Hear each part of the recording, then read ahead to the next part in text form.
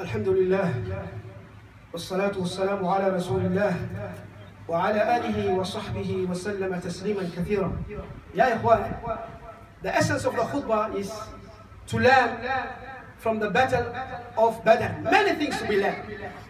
If we want to change our life today, and as we have said, every Muslim country has got a problem.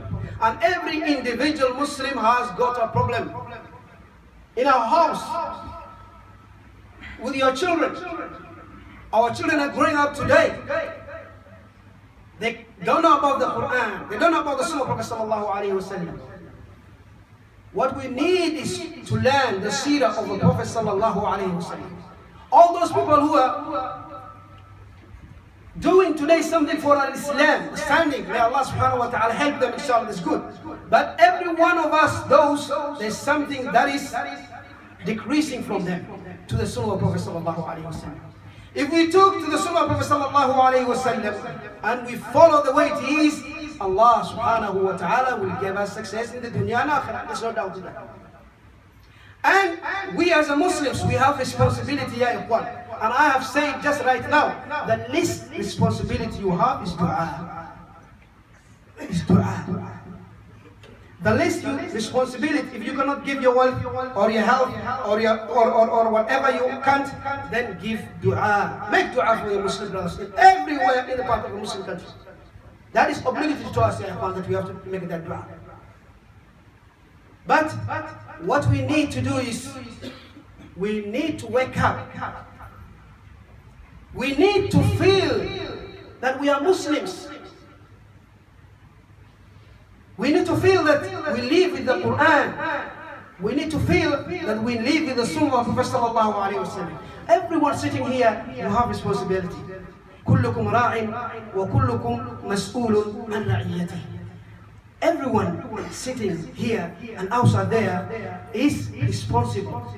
And we will be accounted for that responsibility in the day of judgment. One of the great responsibility is this religion of Allah subhanahu wa ta'ala. One of the great responsibility is our family, our children, our wives, and our husbands. Allah subhanahu wa ta'ala says in the day of judgment, وَقِفُوهُمْ إِنَّهُمْ مَسْئُولُونَ Stop them, they will be accounted. We will be accounted, ya ikhwan. We will be accounted. We will not just eat and live and sleep and then we'll just meet Allah and go to the Jannah. We will be accounted for our actions. Two, you will see before Allah subhanahu wa ta'ala. Minimize the wrong things. Do not become a volume. Do not become an oppressor. Some of us today we oppress our family. Some of us today we oppress our children. Some of us today we oppress our wives. The most disgusting and despicable, despicable the day of judgment is when a beloved person takes you to account before Allah subhanahu wa ta'ala. Your husband, your wife, your daughter, your sister, your parents. There's an oppression. Especially those whom we are raising, our children. And one of them is that we have to raise them, we have to give them good Islam, the right Islam. Otherwise, they will ask Allah subhanahu wa ta'ala in the day of judgment. Alhamdulillah, we take them to the university, the best schools, the best tuition, the best teachers money can buy, the best dress, the best holiday. Where's the best Islam? Where's the best Sunnah? Where's the best Quran? Where is it? Allah will account you. This is equal to sisters and brothers. Want to succeed in the dunya and akhirah? Then give your children and your parents, give your children good environment. Environment that they will know about their, about their deen. Environment that they will know about their aqidah.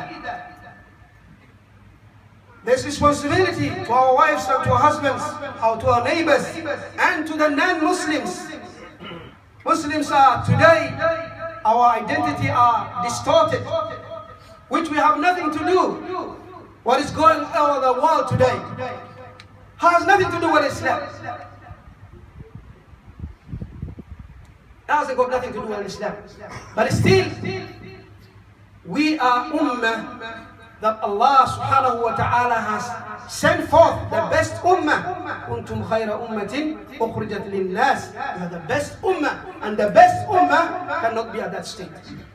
There's something wrong with us. Until we go back to the best ummah and we learn our religion, then we have to do a lot. اللهم صل وسلم على النبي المصطفى ان الله وملائكته يصلون على النبي يا ايها الذين امنوا صلوا عليه وسلموا تسليما اللهم اغفر للمسلمين والمسلمات والمؤمنين والمؤمنات الاحياء منهم والاموات انت قريب مجيب الدعوات يا رب العالمين ربنا اتنا في الدنيا حسنه وفي الاخره حسنه وقنا عذاب النار واقم الصلاه